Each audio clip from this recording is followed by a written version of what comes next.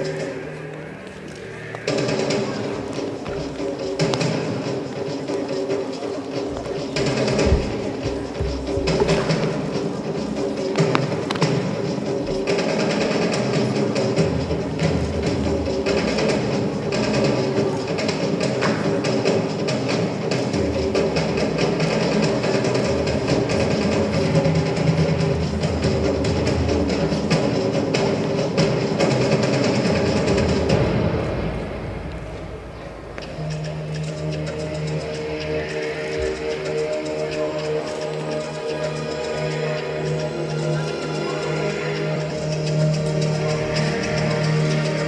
Thank you.